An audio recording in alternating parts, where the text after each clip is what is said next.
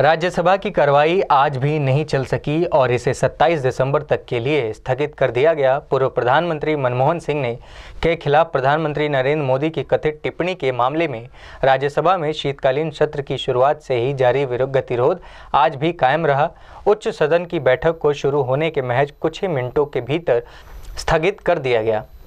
सदन की कार्रवाई शुरू होने के कुछ देर बाद राज्यसभा में नेता प्रतिपक्ष गुलाम नबी आज़ाद ने प्रधानमंत्री की कथित टिप्पणी के मामले में गतिरोध का मुद्दा उठाया। आज़ाद ने कहा कि गतिरोध को दूर करने के लिए बनी समिति की अब तक सिर्फ़ एक भी बैठक, एक बैठक हुई है।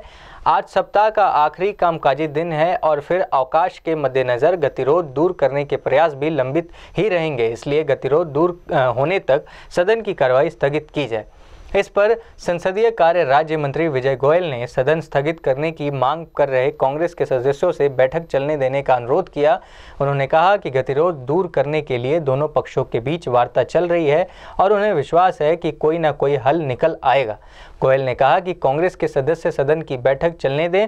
जनता सब देख रही है। इस पर सदन में कांग्रेस के उप नेता आनंद शर्मा ने कहा कि विपक्ष भी चाहता है कि सदन में चर्चा हो और विधेयक पारित हो, लेकिन गतिरोध दूर होने तक सदन की कार्रवाई स्थगित करनी चाहिए।